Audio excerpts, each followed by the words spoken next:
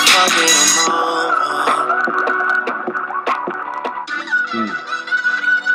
I'm Clervil, aka Mr. Changing Lives. Get on. Um, the topic that I want to share with you guys today is chase your passion, not your pension. There's something that you were meant to do that no one else can do. There's a space that you were meant to fill that no one else can fill. Talent is God's gift to you. Using it is your gift back to Him. A lot of times we limit ourselves by um, not fully following our dreams because following our talents because we believe, oh, there's no money in this field. I'm not going to be able to make it. But in order to be truly successful, you have to be happy about what you're doing. A lot of people, there's a lot of people working now uh, nine to fives or whatever their whatever their careers is, and they're not happy what they're doing.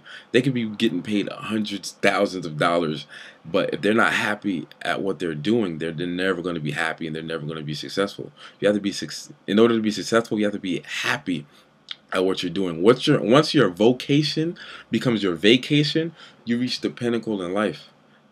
There's something that you were born to do. It's inside you this is the reason that you're here. There's a destiny that you have to fulfill.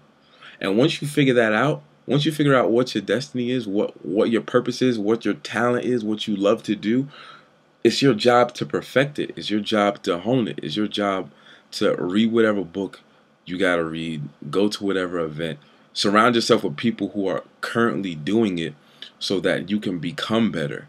And then once you begin to do that, you got you got to work at yourself and become the best that you want to be. A lot of people um, they aim low, or better yet, even worse, they aim at nothing. And when you aim at nothing, you are sure to hit it every single time. So you gotta dream big. It takes the same amount of energy to dream small as it does to dream big.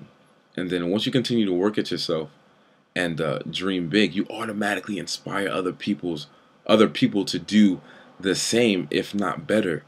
I mean, Maya Angelou wouldn't be as great as she was if her poetry didn't inspire others to write and express their feelings on a piece of paper.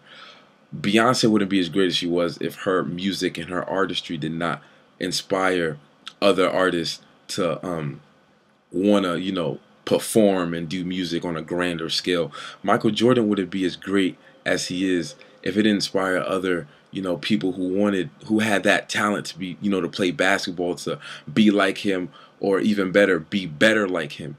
I mean, be better than him, excuse me. So you have to make a decision and decide what is it that you want to do. Forget what your parents want you to do. What your what is it that you want to? do? There's something that you want to do that you were born to do.